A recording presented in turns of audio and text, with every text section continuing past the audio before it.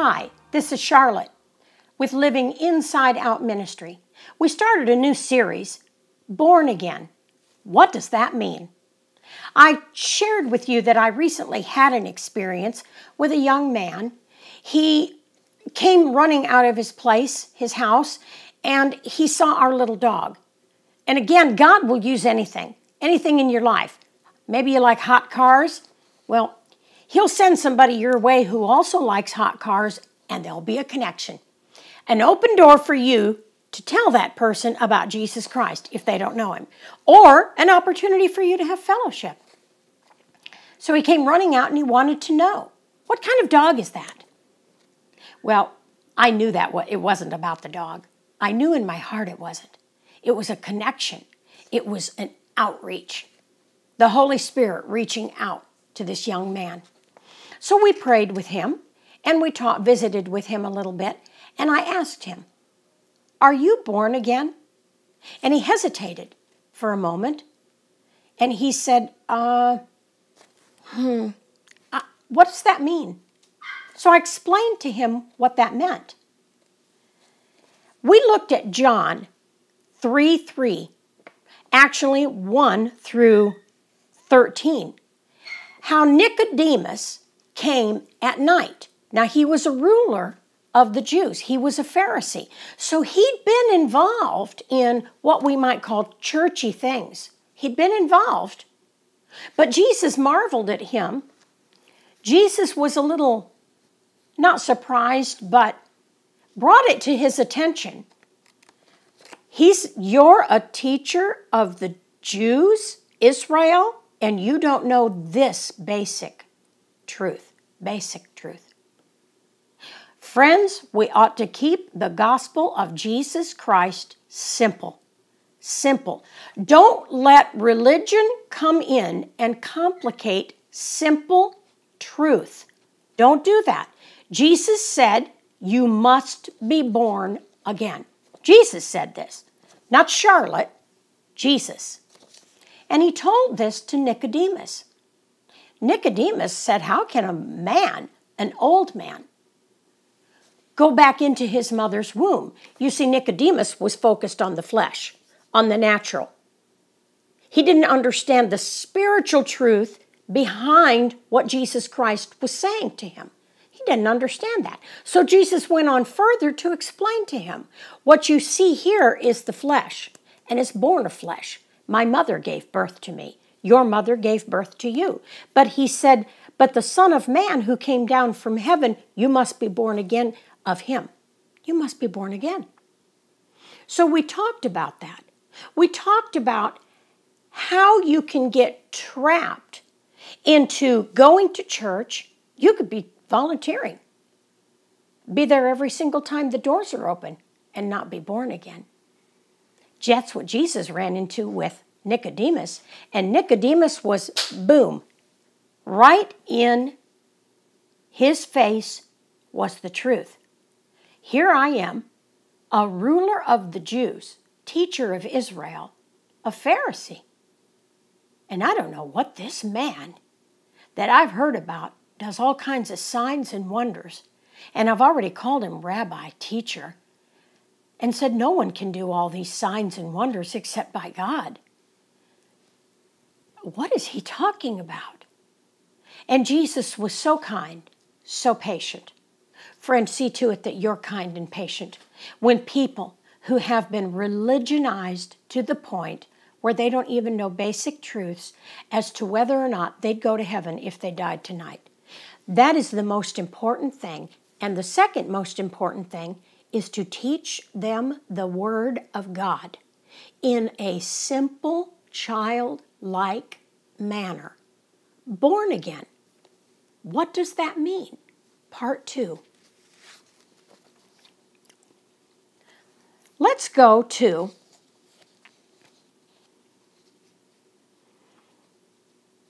want to make sure I get my notes right. Second Corinthians 5:17. This is in God's Word translation. I'll read this to you, and then I want to tell you a little bit about my testimony. 2 Corinthians 5:17 God's word translation Whoever is a believer in Christ is a new creation. Remember when Jesus was talking to Nicodemus?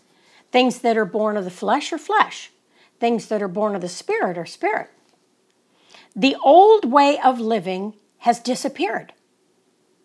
A new way of living has come into existence. Just like the wind, we see the result of the wind.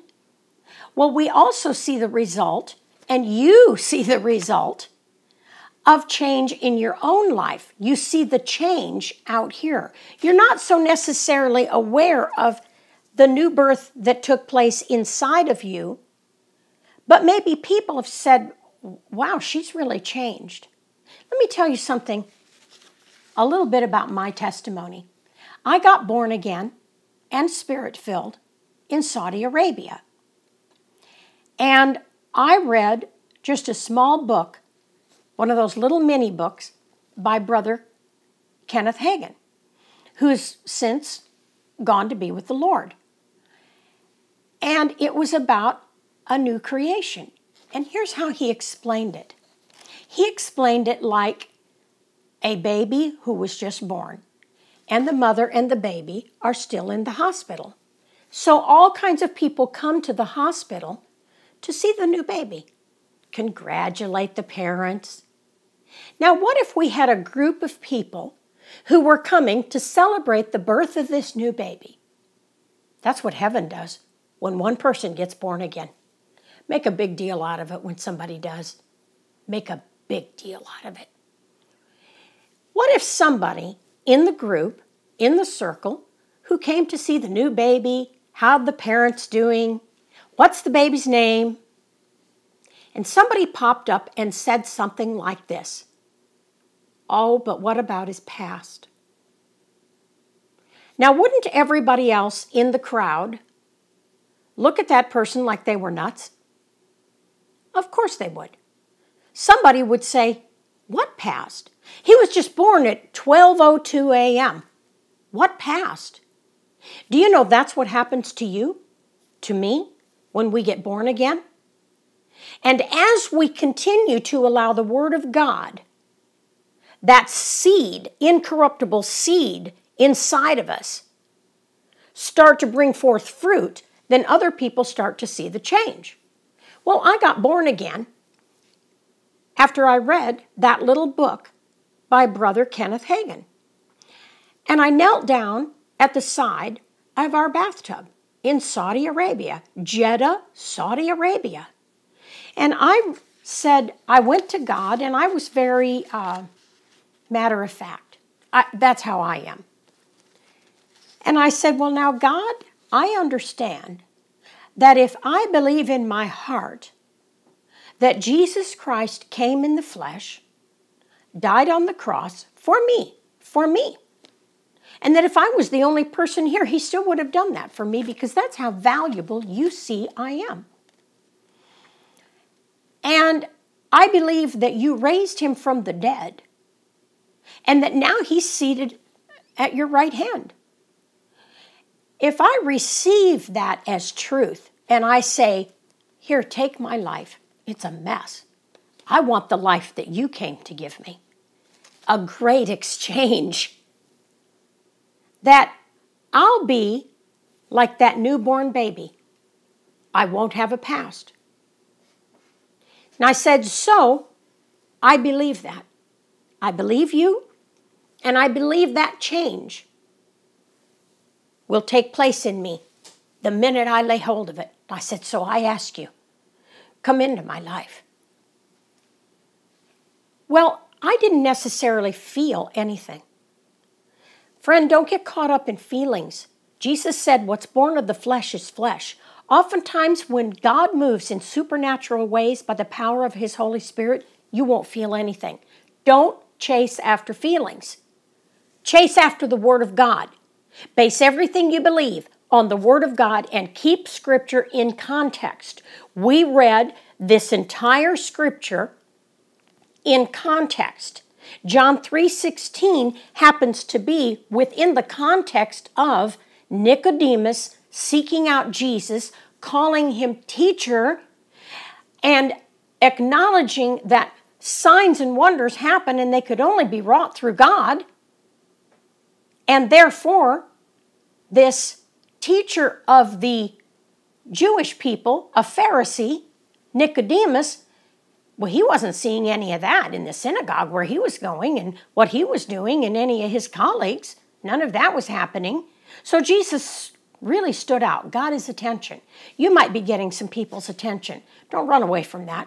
Just stay strong. But keep scripture in the context of where it is in the Bible because it helps us to understand the whole picture.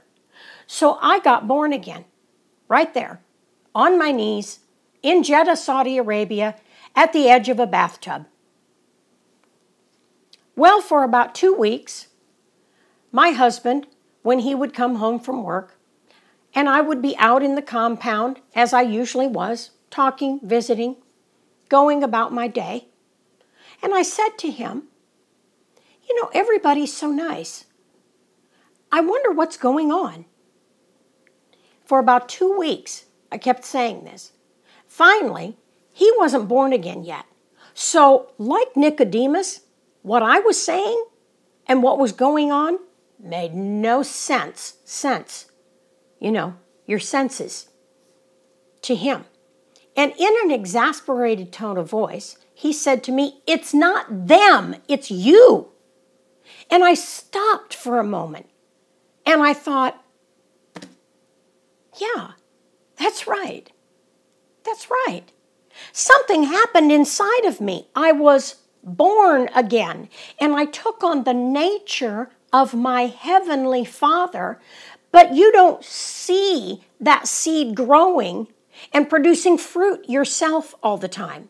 Just like if you go out to a field and you plant soybeans, you don't dig up the seed and check it every day, you know the important part of the growth of that seed and bringing forth the fruit is to leave that seed in the ground and don't dig it up. So oftentimes we don't see anything that goes on in our own life as far as transformation, but when that seed in the ground starts sprouting, poking up through the dirt, then we say, ah, yeah, I see that. Mm-hmm. So Nicodemus did not understand how an old man could go back into his mother's womb. Well, when we had a discussion with this young man that we were speaking with, he didn't know if he was born again. So I explained to him what that meant according to the scriptures. And he understood. He said, Yes, I've done that. I've done that. So, whoever do you know that person that you're angry with right now? Maybe you're holding a grudge against them. Do you know Jesus Christ died for them? Oh, unforgiveness is a prison that you enter into. The old way of living has disappeared. Now, that doesn't happen overnight. I still drank alcohol after I got born again. I didn't know. My mind wasn't renewed. Instantly, your mind isn't renewed. The only thing that has the power to renew your mind and begin to transform your thoughts to think like Jesus Christ, Almighty God, is this thing right here the Bible. Nothing else has the power within it to renew your mind to think like God. Nothing, nothing. You can read all kinds of books. You can read about Jesus. You can go to church and hear about Jesus, but do you know him? Are you born again from above? Are you born again from above? So, whoever is a believer in Christ is a new creation. The old way of living has disappeared. When you focus on Jesus Christ, a lot of times the old way of living just begins to fall off of you. Those things that were appealing at one time in your life are no longer appealing. And you don't have to, oh, I'm going to try not to do this. You just lose the desire for those old ways as you grow and hunger for your desire of the Word of God. You know that song, just a chorus. As the deer panteth for the water, so my soul long after you.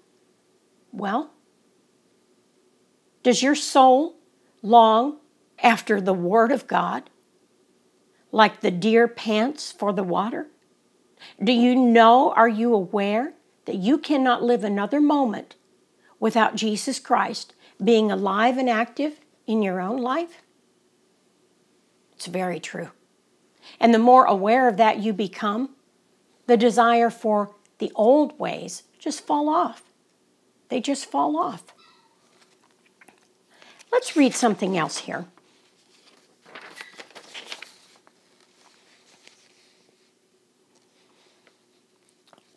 Oh, here, we want to read in, in Acts. I'm sorry.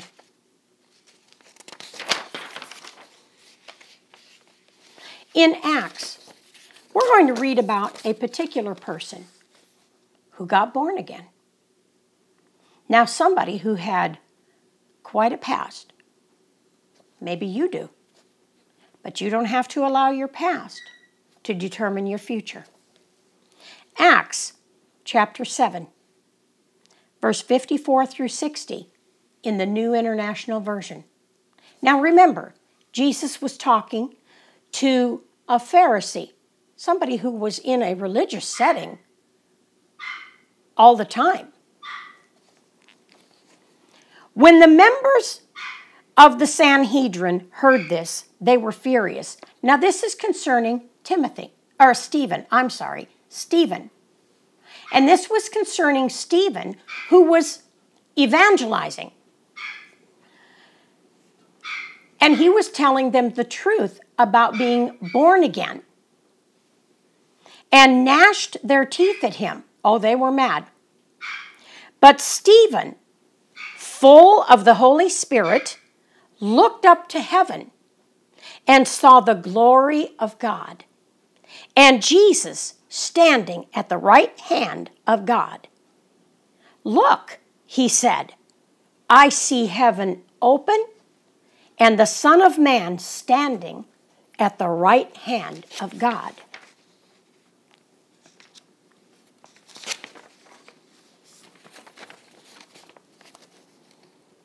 They were yelling. These are the religious people, the Pharisees, Sadducees. They covered their ears and they yelled at the top of their voices. This really made them mad. They all rushed him. They all rushed at him, dragged him out of the city, and began to stone him, Stephen, because he was telling them, these people who had spent their whole life in this religious setting, but he was telling them the truth about who Jesus Christ was and is today and will always be, began to stone him.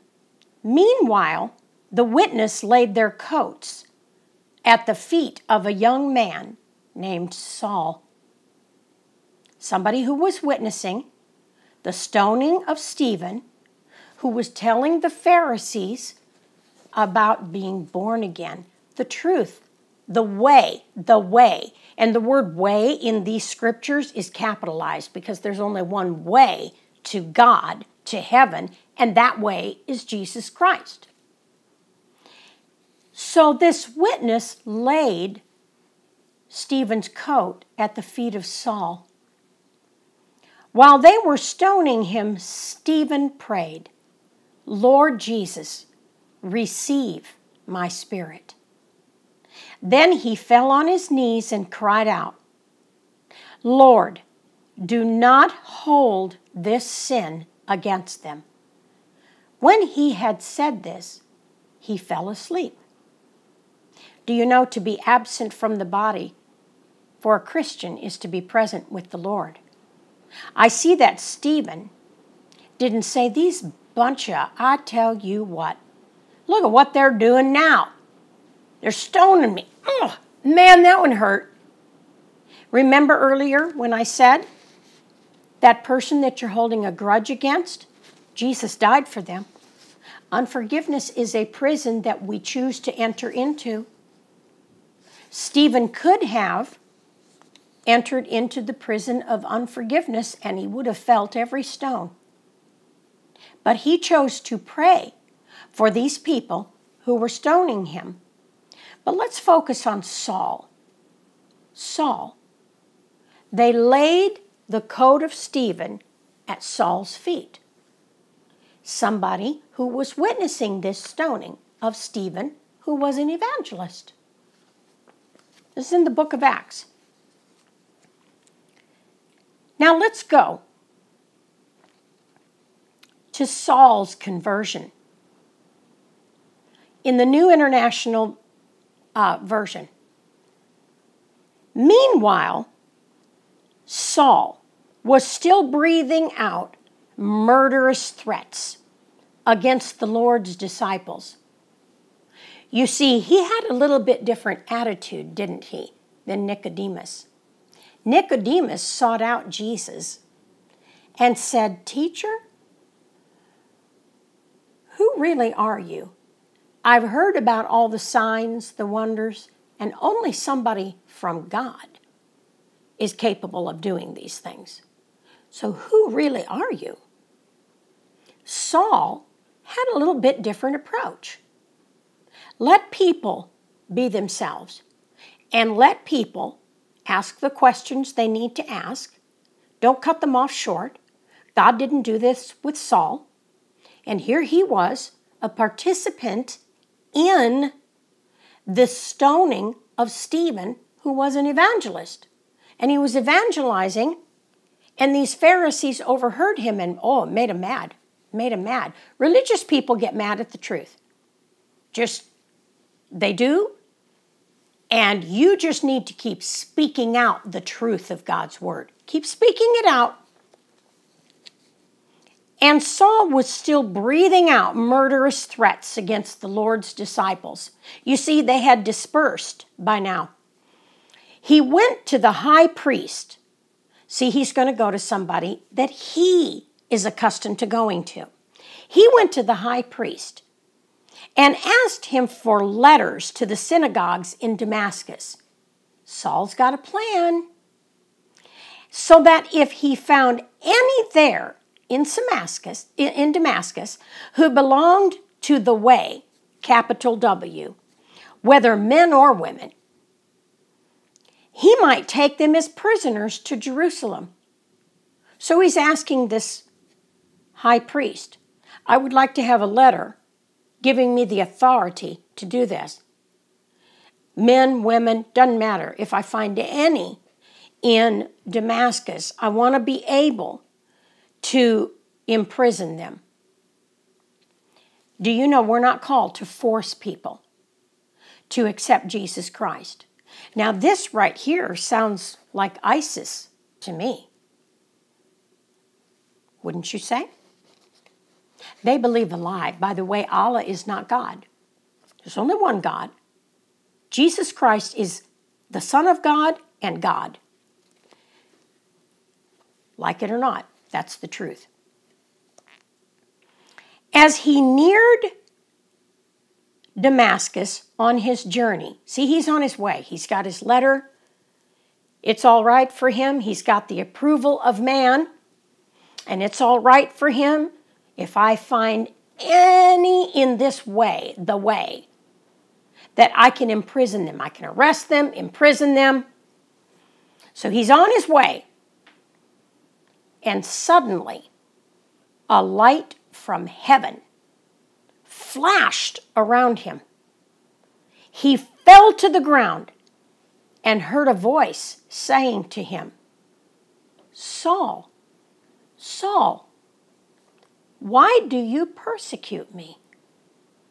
Now, notice this voice didn't say, Why do you persecute my people? Why did you persecute Stephen? Why do you persecute me?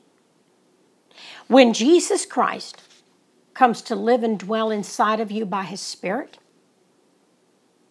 then you are, in the eyes of the enemy, no different than Jesus. He's just, the devil is just as afraid of you as he was and is of Jesus Christ. Now that's a whole mouthful right there. And on his way, Saul, on his way to go arrest these people, oh, I just hope I find some. I sure hope I find some. He's on a mission. And he hears a voice. And he sees a flash of light. God is light. And you're the light of the world. You're a Christian. You shine everywhere you go. Be aware of that. He fell to the ground and heard a voice say to him, Saul, Saul, why do you persecute me? Now, here's when Saul got born again. Remember when Nicodemus addressed Jesus as rabbi, teacher? Who are you, Lord? Saul asked. Don't give up on people. Here's Saul going around murdering Christians. And yet, Jesus died for him. That person you're mad at, Jesus died for them. And Saul addresses him as Lord. That's when his conversion took place. Remember when I shared with you that when I got born again, it happened to me a particular way. But that doesn't mean it's going to happen to everybody that same way. When people, perhaps at a gas station, and you ask them, Are you born again? and they know what that means, or they ask for further teaching on it, Give them exactly what the Bible says, what Jesus explained to Nicodemus, and let them get born again right there. Right here on a journey, this is when Saul accepted Jesus as Lord. He called him Lord, he addressed him as Lord. So it's not going to be the same way every single time. Don't make a religion out of the way the Lord does things. Know that each person is unique, just as Father God knows each one of us is unique. And allow people as you go out into the world, allow them to be free to give their heart and life to Jesus Christ in a manner that they're comfortable doing. Like Nicodemus came at night asking the rabbi, asking Jesus, What's this all about? Who are you really? We're going to close for now, but remember, indeed, the kingdom of God is within you.